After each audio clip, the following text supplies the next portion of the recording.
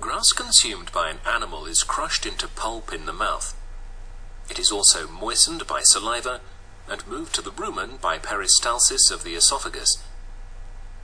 In the rumen, crushed food is mixed with symbiotic microorganisms that break down cellulose and other organic compounds into simple sugars. These in turn are transformed into organic acids such as acetic acid and butyric acid, and gases such as carbon dioxide and methane.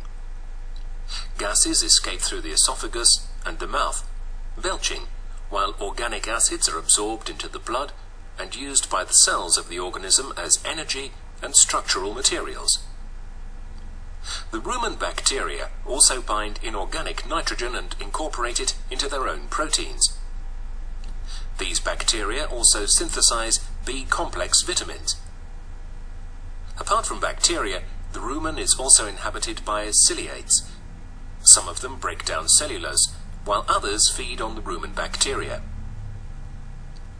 The cud fermented by microorganisms is moved to the second chamber, the reticulum, where it is further grinded and formed into balls.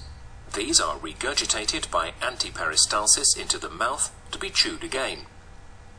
Thoroughly chewed and swallowed again, the digester is passed by peristalsis to the third chamber, the omasum, where water is absorbed and the digester condensed.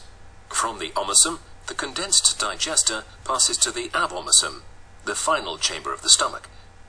The abomasum, which is the proper stomach, secretes enzymes to initiate the digestion of proteins released from plant cells, and also proteins of bacteria and ciliates found in the rumen. From the abomasum, the food pulp passes to the duodenum, and then to the small intestine, in which the digestion is completed and its products absorbed. Indigested food enters the large intestine, where water is absorbed and feces formed. These are later eliminated from the body through the rectum.